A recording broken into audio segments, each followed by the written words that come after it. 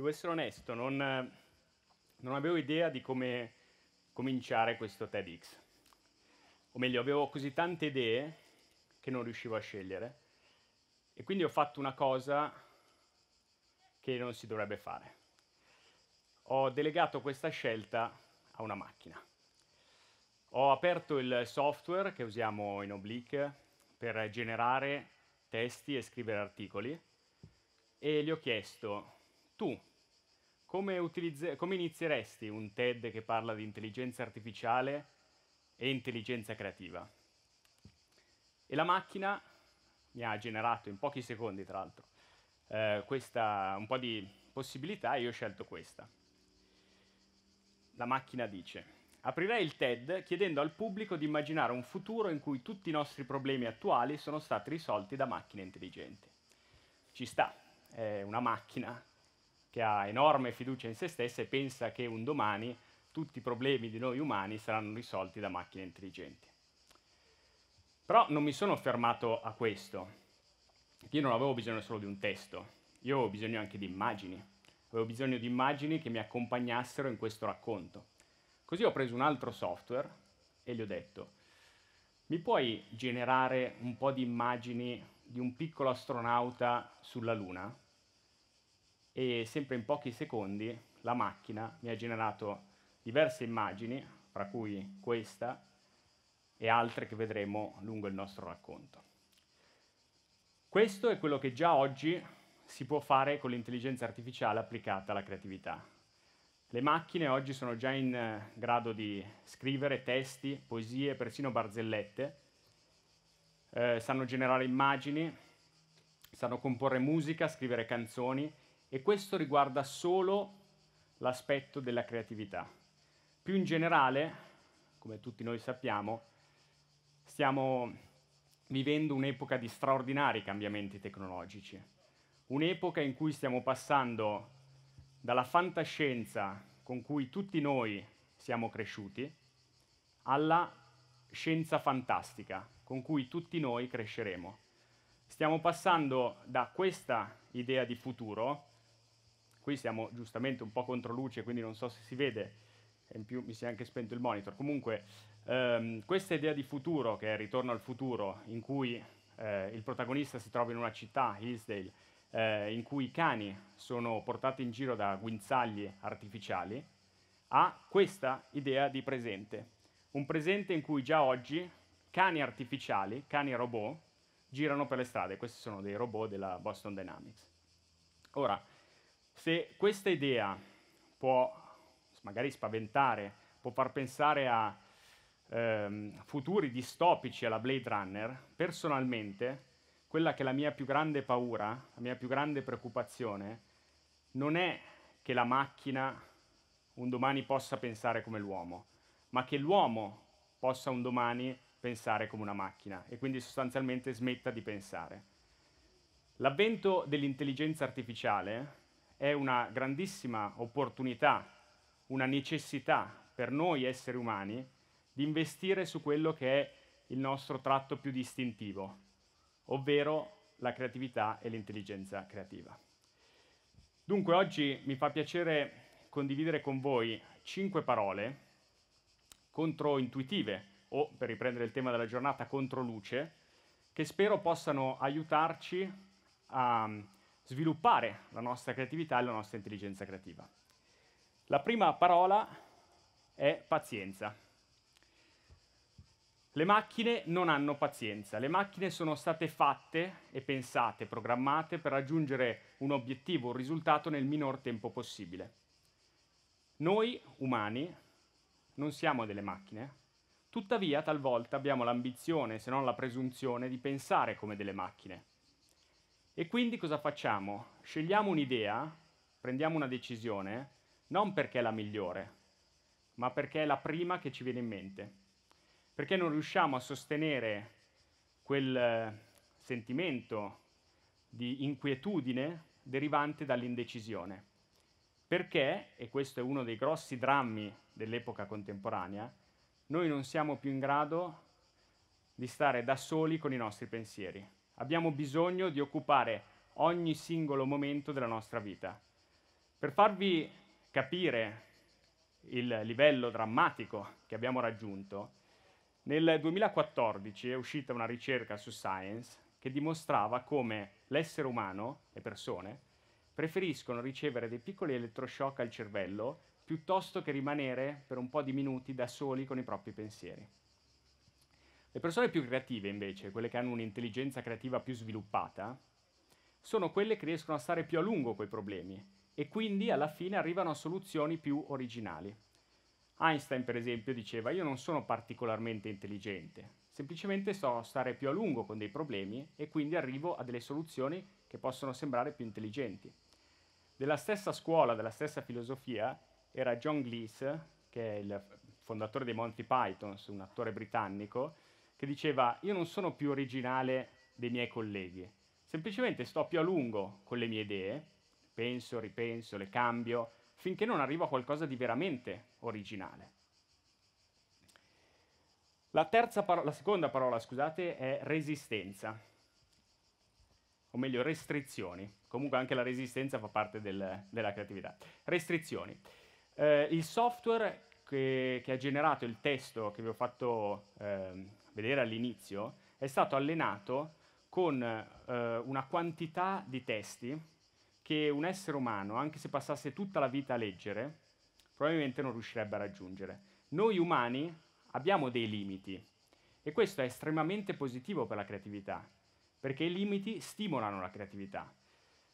Qui ho usato la parola restrizioni, ma potevo usare limiti, appunto, problemi, errori, difficoltà, crisi, qualsiasi cosa che crei un piccolo cortocircuito, uno shock nella nostra mente e ci allontani dalla nostra routine quotidiana, ci allontani da quella che è una delle nemiche numero uno della creatività, che è la comfort zone.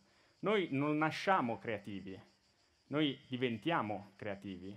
Se non abbiamo problemi da risolvere, se abbiamo sempre tutto quello che ci serve attorno a noi, se stiamo sprofondando nella comfort zone, la creatività e l'innovazione è inutile.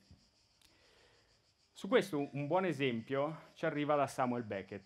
Come sapete Samuel Beckett era irlandese, tuttavia, e quindi parlava inglese, però i suoi più grandi capolavori li ha scritti in francese, non perché fosse bilingue, anzi, perché il fatto di scrivere in una lingua diversa dalla sua gli permetteva di essere più creativo, più asciutto.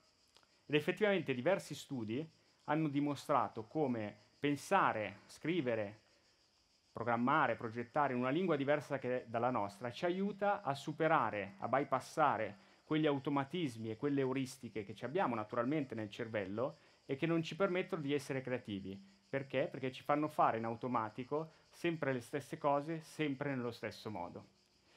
Quindi qui il consiglio è cercate di diversificare le attività che fate. Se siete un avvocato, provate a seguire un corso d'arte, se siete degli artisti provate a seguire un corso di finanza, se avete un budget da 100.000 euro provate a pensare come se ne avesse 10.000 e vedete cosa tirate fuori. La terza parola è disciplina. Qui il nostro piccolo astronauta, ah, girando sulla Luna, incontra un artista e l'artista è Dalì. Quello che io trovo parentesi, notevole in questa immagine generata da un software in pochi secondi, tanto lo sottolineo, è che il software abbia preso una decisione 100% algoritmica di rappresentare la, penso sia la Terra in lontananza, il pianeta in lontananza, come fosse una vignetta di Dalì. Io penso che un curatore potrebbe spenderci diverse pagine su questa, su questa scelta. Ma cosa c'entra Dalì, o la rappresentazione quantomeno di Dalì, con la disciplina. Da lì c'entra con la disciplina, perché da lì un giorno disse ho infranto il muro dell'arte con disciplina da militare. Ed effettivamente la disciplina è un elemento essenziale della creatività. Potremmo arrivare a dire che eh, più il lavoro che vogliamo fare è indisciplinato, più serve disciplina per portarlo a termine.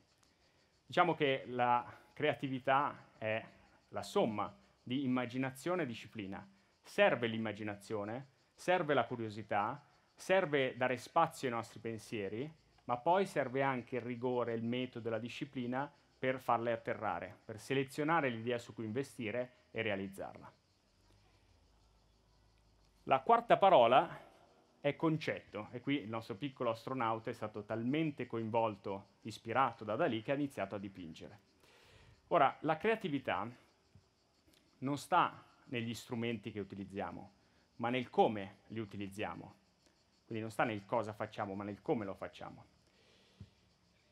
Ehm, noi potremmo avere anche la tecnologia più all'avanguardia del mondo, ma se la continuiamo a usare sempre nello stesso modo, se non la utilizziamo con una mentalità creativa, allora è inutile, continueremo a fare sempre le stesse cose.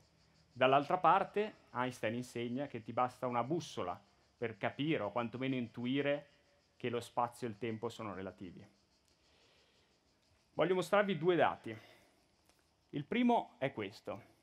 Il 77% è la possibilità che un domani, neanche tanto remoto, il lavoro dell'imbianchino possa essere automatizzato, ovvero fatto da un robot. Adesso vi mostro il secondo dato, 16%. 16% è la possibilità che il lavoro di un pittore, inteso come artista, possa essere fatto da un robot. Se ci pensate, il pittore e l'imbianchino utilizzano gli stessi strumenti, i pennelli e i colori. Quello che fa veramente la differenza è come li usano, il concetto che c'è dietro. Ed è questo il vantaggio di un artista o il vantaggio di un essere umano sulla macchina. Tra i tanti lavori che ho fatto nella mia vita c'è stato anche quello del curatore d'arte. E quando di fronte a un'opera qualcuno diceva una frase che avrete detto o sentito tutti voi, ah questa potevo farla anch'io, la mia risposta era magari questa potevi farla anche tu, ma saresti stato in grado di pensarla anche tu, perché è quello che fa veramente la differenza. Io sono abbastanza sicuro che un domani una macchina sarà in grado di generare in pochi secondi centinaia di nuove opere, opere originali di Picasso. Sono già stati fatti moltissimi esperimenti in questa direzione, ma io sono altrettanto sicuro che una macchina non potrà mai vivere la vita di Picasso e quindi vivere tutti i drammi, tutti i successi, tutte le esperienze positive e negative che Picasso ha vissuto e che hanno portato all'ideazione, alla realizzazione di quadri come Guernica.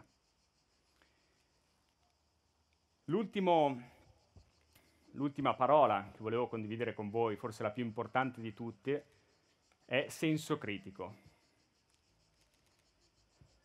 Già oggi la nostra vita è scandita da algoritmi che influenzano le nostre scelte. Ogni volta che come esseri umani, come persone, eh, decidiamo di delegare a una macchina la fatica di pensare e di scegliere, che sia come iniziare il TED, come ho fatto io, che sia quale film guardare, che sia quale prodotto comprare, o peggio ancora, quale informazione leggere e quale informazione ignorare. In questo momento noi stiamo rinunciando a quello che è uno dei nostri tratti più distintivi, che è appunto il senso critico. Stiamo lentamente diventando sempre meno autonomi e sempre più automi. Quindi il mio ultimo consiglio è non fatelo mai. Non smettete mai di pensare con la vostra testa e non con quella di qualcun altro o peggio ancora con quella di qualcos'altro. Grazie.